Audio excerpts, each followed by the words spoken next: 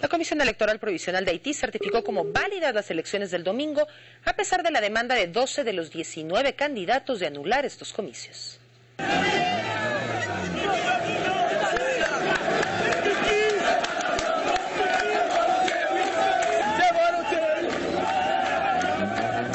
Se esperaba que las elecciones en Haití trajeran paz y conciliación. Sin embargo, horas después del cierre de la votación, miles de manifestantes salieron a las calles, destruyeron urnas y casi todos los candidatos presidenciales se unieron contra el gobierno.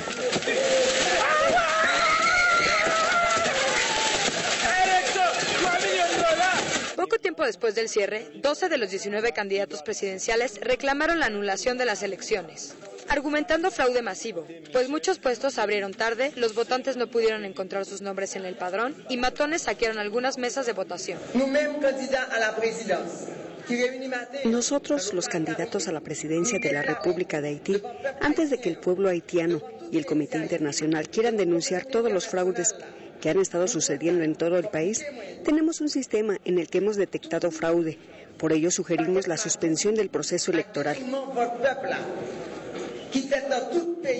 A pesar de ello, la Comisión Electoral Provisional de Haití calificó hoy como válidos los comicios generales y legislativos.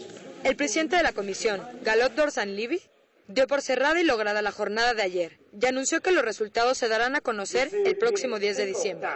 El directivo agradeció a la población haitiana por acudir a las urnas y prometió que el organismo analizará las irregularidades reportadas. Los candidatos con más posibilidad de triunfo son Jude Celestín, del partido del gobierno Unidad, Mirlande Manigat, líder de la Reunión de los Demócratas Progresistas y Nacionalistas, y Michael Martelli, del Partido Respeto.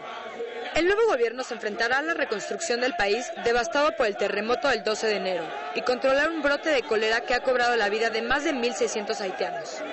TVCN, Tatiana Constantino.